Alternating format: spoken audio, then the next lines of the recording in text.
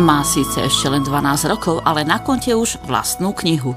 Komárňan Ádám Drost je autorom napínavej detektívky. Žiak 7. ročníka základnej školy Mora Jokajho napísal román o smutnom osude luxusnej lode a o následnej katastrofe. Hlavnými hrdinami sú jeho kamaráti z reálneho života. Zaujímalo nás, čo mladého autora motivovalo k napísaniu. Már nagyon régen érdekeltek a könyvek. Egyszer négy évvel ezelőtt hát gondoltam, hogy még próbálkozok vele, hogy könyvet írok. Knihy ma vždy zaujímali a tak som sa pred 4 rokmi rozhodol, že skúsim napísať knihu. Najprv to boli len také pár stránkové, potom však materiálu pribúdalo a takto sa to završilo. Kniha je o štyroch kamarátoch, ktorí nastúpia na Titanic. Chcú začať nový život v Amerike. Ich cesta sa nevydarí úplne tak, ako si predstavovali. Viacero okolností zasiahne a vedci sa skomplikujú, až kým nenastane katastrofa. Bonyolódnak a, bonyolódik a ügy, amíg be nem következik a katasztrófa. Hlavní hrdinovia majú svoje tajomstvá. A szereplők azok való személyekről lettek mintázva,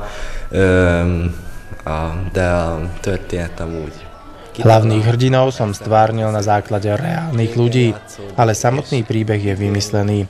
Samozrejme, pretože sa odohráva v minulosti, ale ich spôsoby a konanie sú charakteristické pre nich. Nechýbajú ani rôzne hádky, ale tie sa dejú aj v reáli. A tak ako v knihe prichádza zmierenie, tak aj my sa vždy zmierime. Zaujímalo nás, koľko trvalo napísať román a či bude mať pokračovanie. Már írom is a következő részt, ez már a háborúba játszódik, másik hajón, ami szintén elsüllyed. Ja už vlastne pracujem na druhej časti. Tá sa odohráva vo vojnových časoch, na inej lodi. Aj tá sa potopí.